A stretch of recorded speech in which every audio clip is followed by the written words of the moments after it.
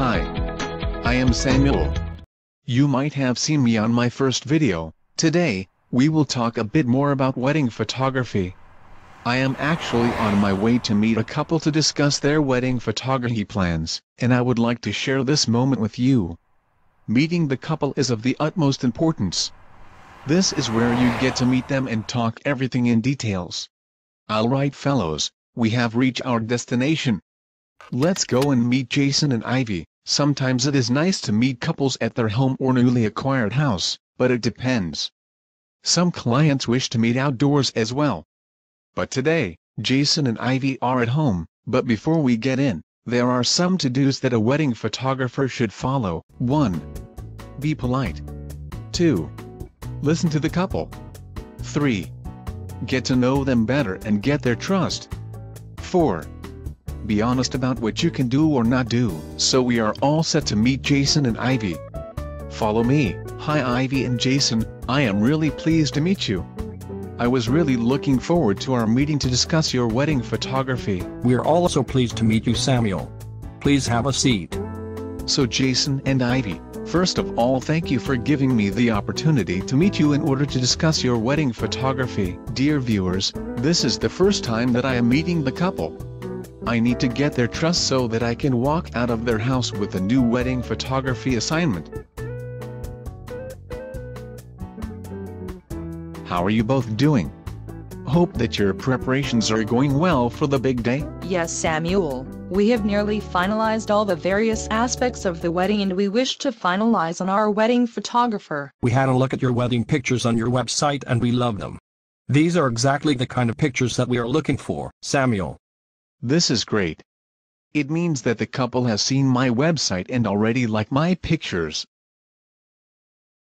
Jason and Ivy, that's very nice to hear that you appreciate my pictures.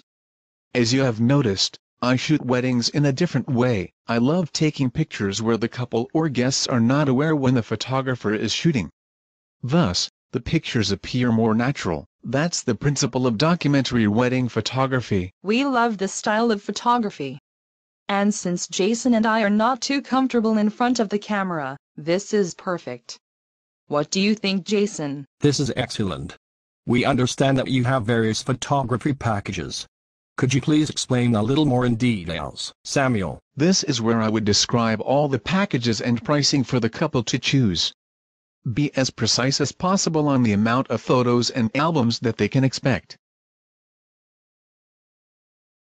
Great, the couple has been able to choose their wedding photography package.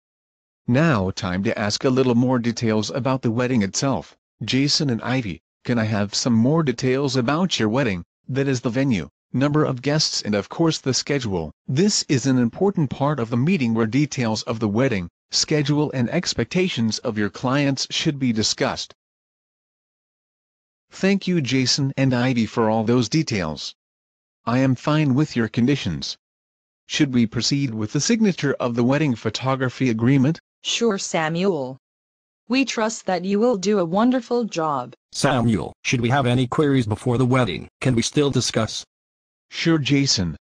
Please do not hesitate to contact me. Well, Samuel thank you so much for your time and patience with us. We're very happy to choose you as our wedding photographer. Thank you Jason and Ivy. I look forward to the big day. Bye bye. Yes. We did it. This is a typical meeting with a couple. But there are meetings where a lot more of involvement is required, where often other members of the family get involved. I do hope that this episode has been helpful and look forward to meeting you again soon for a new program. Thank you bye.